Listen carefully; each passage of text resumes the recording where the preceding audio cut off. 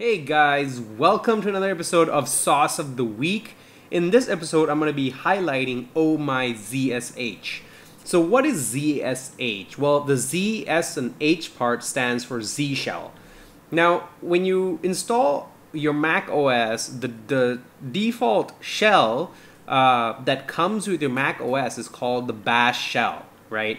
So, what is a Bash shell? Well, Bash shell is basically just a type of shell.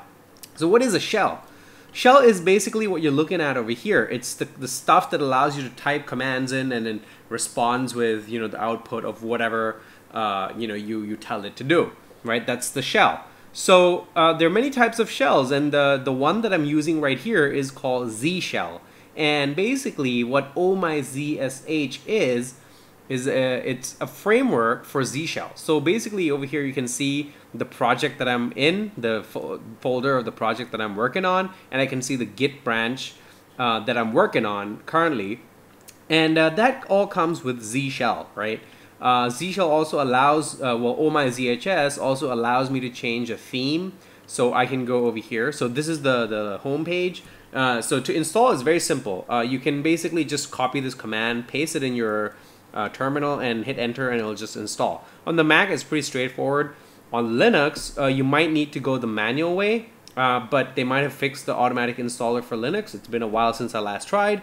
So give that a shot. Now, I'm going to show you the cheat sheet over here and some cool stuff you can do with it. You can come and read this uh, all you want. Uh, but I'm going to highlight a few things over here. So for example, I'm in a Rails project. What I can do is like rake and then tab.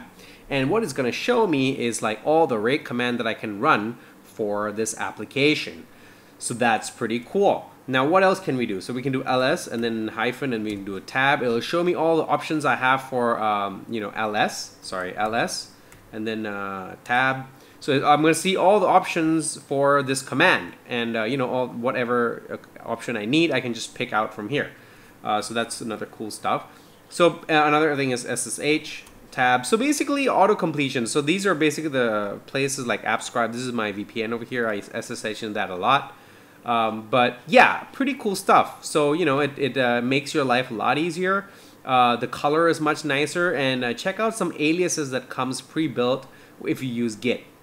So G is basically Git. So for example, if I do G, um, you know this is Git. So you know check it out. Very very cool stuff. So instead of typing Git, I just do G, and I can just uh, activate Git.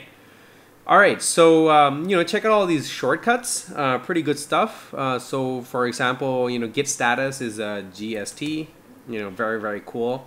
Uh, so yeah, uh, you know, check out the themes that they have. So for example, over here I can click the themes and I can see all the themes that they have and pick the one that I like the most.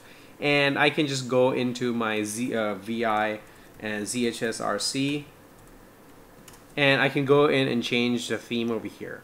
So I'm not going to change my theme because I like mine the way that it is, but uh, you're welcome to try it out. You can pick whichever one you like, and uh, yeah, you know, give it a shot. And it, it's going to make your development life, especially if you work a lot with Terminal, a lot easier.